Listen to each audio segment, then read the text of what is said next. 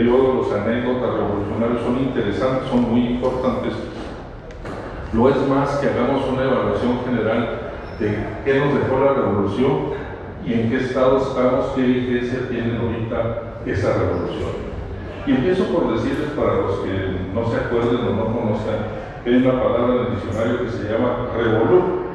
Y revolú quiere decir desorden, eh, eh, bulla, eh, lo que ahora actualmente los jóvenes denominan desmadre, y bueno, desde antes ya se denominaba, pero eso es la revolú y es el prefijo de la palabra revolución. Esto es, es la evolución desordenada, y sobre todo cuando es un estallamiento de, una, de una, un movimiento generalmente es un que hace que haya una evolución en el país de que se trate de manera desordenada.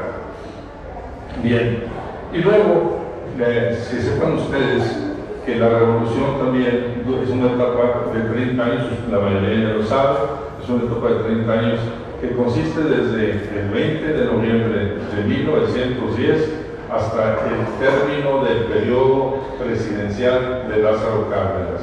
¿Por qué?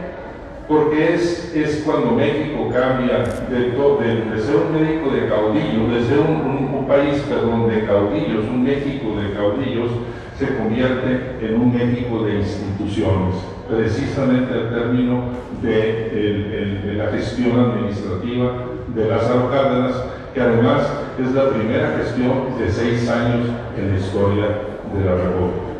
De ahí en más, bueno, ya estamos hablando de un México institucional. Y, otro, comentario importante alusivo es que las prácticas de historia son actos de fe o autos de fe, aunque el auto de fe es un castigo, también quiere decir que hay correspondencia. Esto es porque tienen que los escuchas tener mucha fe de que lo que les está diciendo el conferencista es cierto.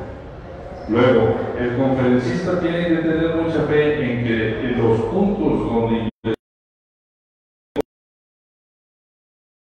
eh, lugares donde son ciertos y luego un acto de fe de los que escribieron aquellas memorias o aquellos eh, lances históricos y, y, que también los están escribiendo y los están pasando al público como efectivamente sucedió.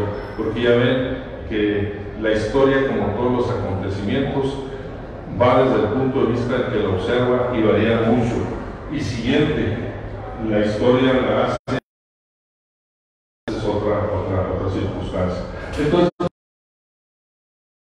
podremos empezar con este, orígenes y vigencia de la revolución. No voy a permitir ponerme pie, porque les voy a ir leyendo junto con lo que estamos pasando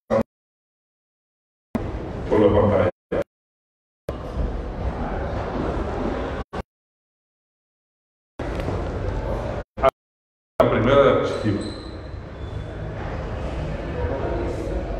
No sonó la música, pero así pasa.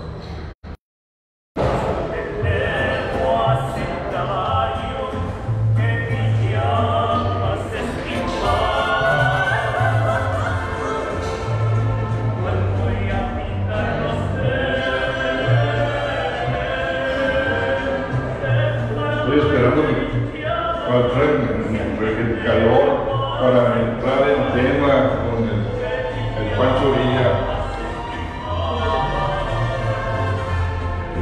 Vemos ahí que los orígenes, primero tenemos que hacer el que comprende desde 1877 a 1911, 31 años discontinuos que tuvo.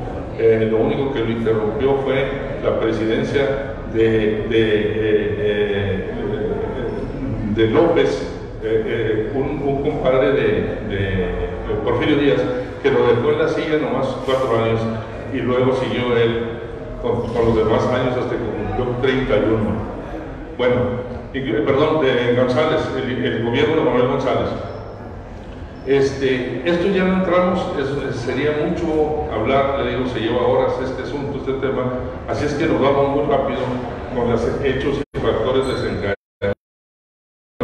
desde 1879. Adelante. divido las etapas de la revolución. Este es un libro que está en ciernes, todavía no lo termino, pero que se llama así. Y empieza con la revolución. La lucha